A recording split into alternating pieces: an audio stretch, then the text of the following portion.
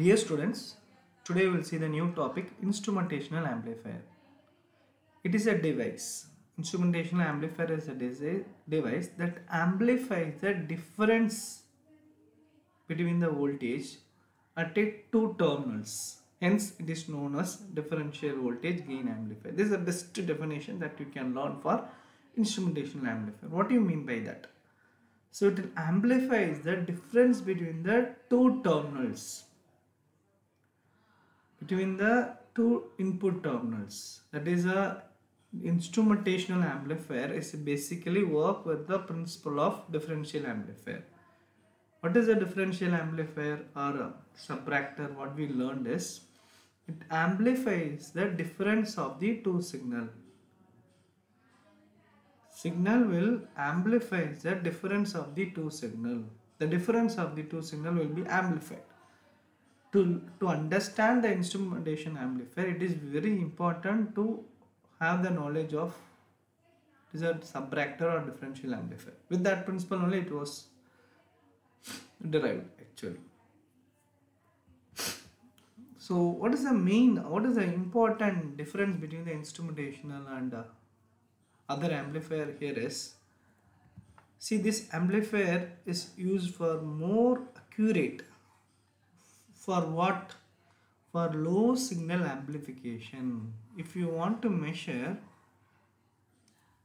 like a very sensitive parameter like i want to measure the uh, like a human heart pulse like a humidity humidity like a temperature or a vibration those signals are very very small. Right so the transducer or sensor will send the signal and the received signal will be sent to the instrumentational amplifier. This instrumentation amplifier will able to amplify the very very very small signal.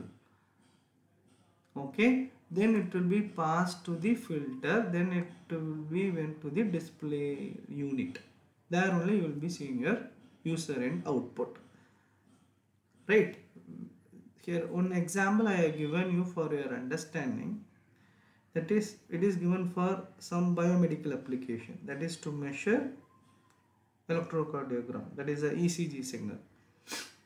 So here we want to measure like a we want to pick up the low level output signal which is generated from the heartbeat. Right it was sensed by the sensor then it will be passed to the instrumentation amplifier. The low signal it should be amplified very precisely right? That work was done by this instrumentation amplifier.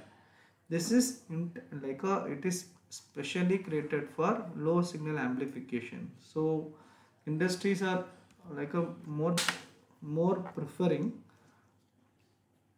to like a to measure the like a to amplify the low signal like a during the measurement. Like a, when you measure the temperature humidity or light intensity or water flow using a sensor or transducer that signal will be passed to the instrumentation amplifier. So instrumental amplifier here play the vital role to amplify your low signal. That will be passed to the indicator system or display unit. Basically you know the transducer is nothing but a uh, a device it will convert your uh, like one energy to the one form to another form. It convert the energy from one form to another form. So we are not going in the just uh, say what is the meaning of transducer? Now when you see the what is the important feature like a it should have a high gain accuracy like a uh, high CMRR so instrumentation amplifier will provide this following best features. Like it will give high gain accuracy high CMRR high gain stability low DC offset and low output impedance. Okay this low output, output impedance is very important to avoid the loading effect in the next stage of your op amp so these are the best feature available in the instrumentation amplifier. Now we'll come to the very important part that is your circuit part. So here you can can see you have two stage. One is a buffer stage another is a differential amplifier stage. Let me start with a very basic concept like a, here you have a 3 op amp A1 and A2 A3 this op amp are working in ideal uh, condition. That means current across the terminals will be 0 current across the terminals will be 0 in all three. Then the resistance is infinite. What do you mean by infinite? So when you draw the op amp so here you have a resistance right? This is the input one input second terminal here basically when you say Ri is infinity it is nothing but an open circuit. It will become open circuit right? When Ri is less it will become short circuit. That is a basic uh, uh, mathematics you learned from the previous classes right? So same you want to understand here. And another thing when I am giving a V2 in the positive terminal same will be here in your minus terminal also because this is concept comes from physical ground and virtual ground here also. When I am giving V1 here here also same voltage. So then only the potential difference will be 0 okay here I am giving input in the positive terminal. Here I am giving input in the positive terminal. The current across the terminals are 0 because the resistance of this op-amp is huge. Right.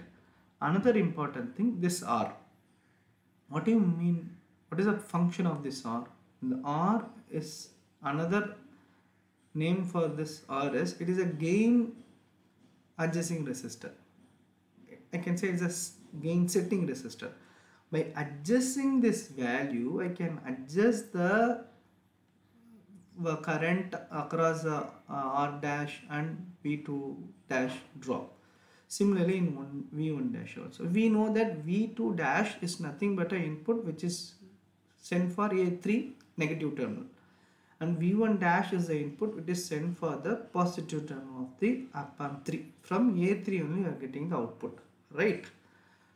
Okay so this is another uh, important thing which you want to know here is A1 and A2 it is acting as a buffer. That is voltage follower. Voltage follower. Voltage follower means buffer. What do you mean by that? The output is directly fed to the input. The input is directly fed to the output. That means output and input both are same. That's all. The output and input both are same. Okay that's why it is said to be the voltage follower. Okay? Though v2 dash is the input which is sent for inverting terminal and v1 dash is the input which is sent for the non-inverting terminal and this is a feedback resistor I just given as R2 R of this here means R2 here. So here you can have one drop here. Because you have a resistance your input is v1 dash. That means what is the vx v1 dash. That is the source of this uh, drop. Uh, this node is node I just kept vx that is v1 dash. What is the corresponding resistance? R2 divided by r1 plus r2 corresponding resistance divided by sum of your total resistance. That gives this Vx node voltage point.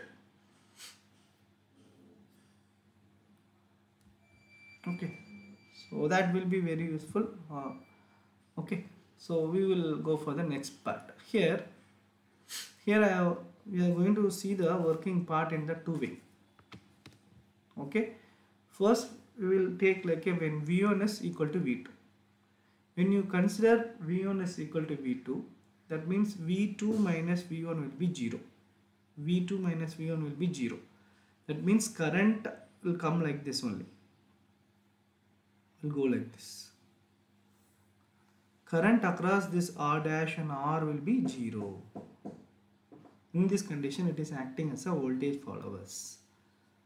Now, when you consider when V1 is greater than V2 or V2 is greater than V1, the current will be move across from v1 dash to v1 and v1 to v2 and v2 to v2 dash. Current is moving like this okay? The current will flow through this r and r dash. Here very important to learn. So let me like uh, this is a uh, arrangement of series resistance right? So this is r.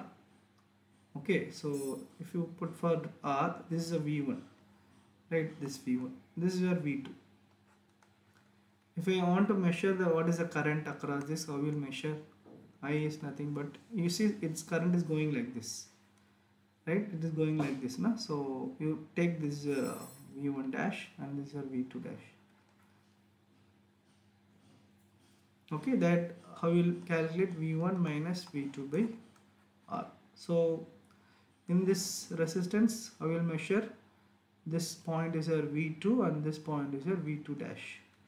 So that means current is moving like a v1 dash to v1 here this point is a v1 dash and here if you write i equal to v1 dash minus v1 by uh, similarly for here also.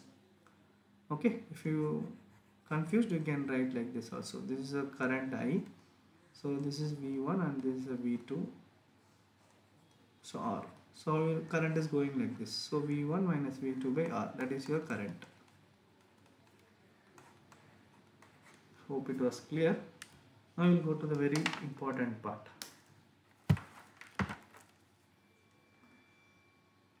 Here you have a 2 voltage source right? Here you have a 2 voltage source. So so for do our analysis. I will take one source as active another source as inactive. Similarly I will take uh, uh, in the next phase. First I will be considering for this minus.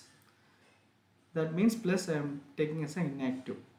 So when you when I am giving the input in the minus we used to say that is a inverting amplifier. What is the equation for inverting amplifier? V naught equal to VI RF minus RF R by R1 here RF I have taken as R2 I said clearly in the previous slide right? This is RF actually.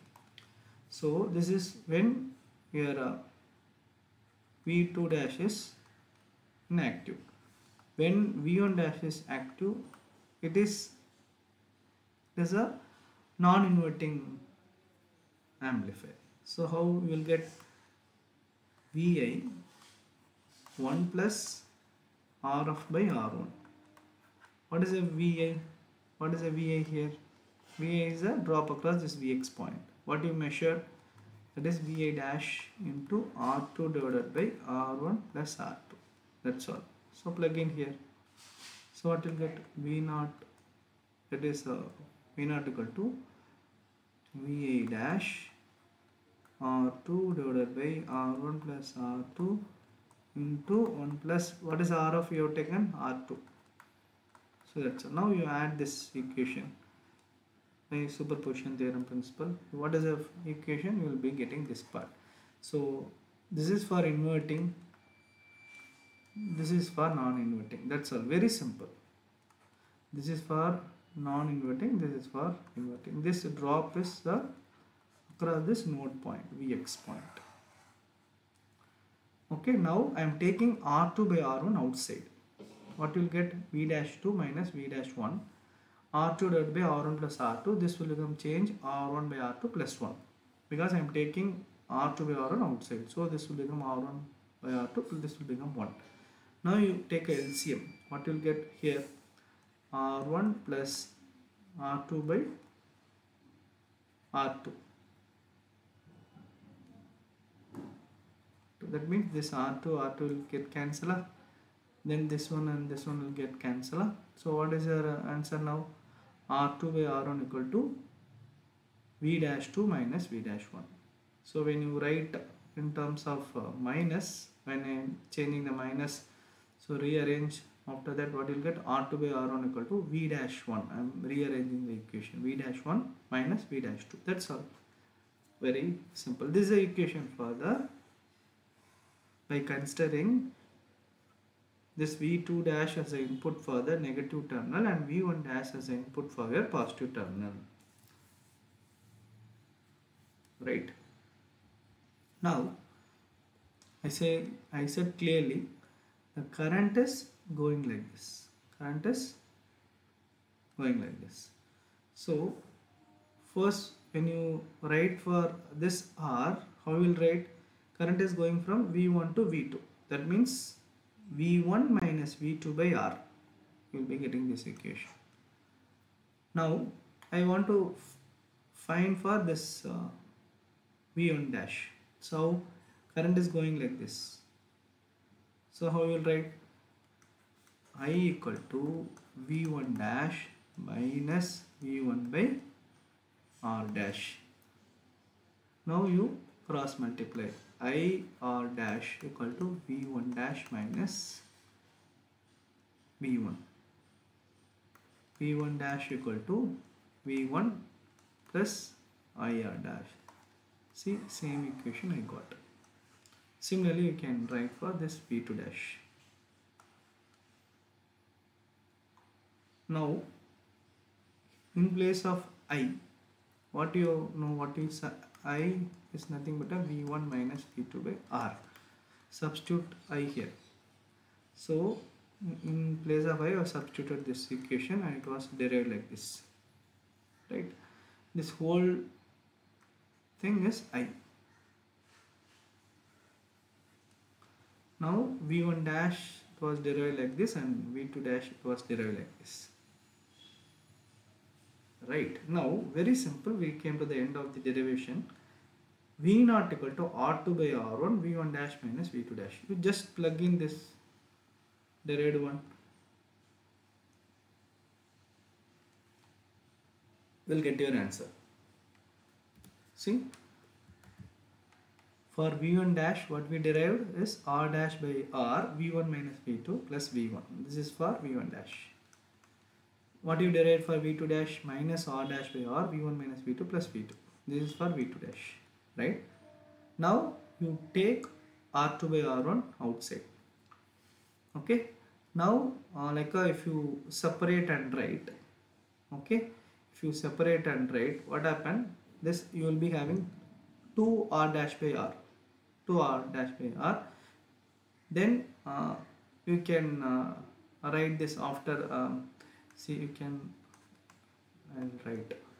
So r dash by r v1 minus v2 r dash by r plus v1 plus r dash r v1 minus r dash by r v2 minus v2 okay? After uh, simplification this equation so will be get r2 by r1 equal to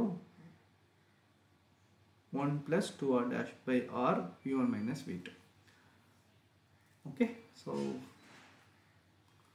and finally this is your formula for your instrumentation amplifier.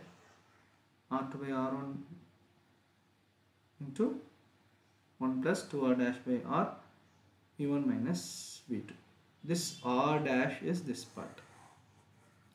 This r is this one. R is your gain setting resistor. Then if you want to calculate gain so gain you know that is your uh, output by input. What is the output? V naught. What is the input? V1 minus v2 so if you rearrange this equation what is the product term? R2 by r1 into 1 plus 2r dash by r. So this is a equation to adjust your gain. Main final derived equation for instrumentation amplifier. So this is a theoretical and this is a mathematical equation for the instrumentation amplifier. Hope it was clear. Thank you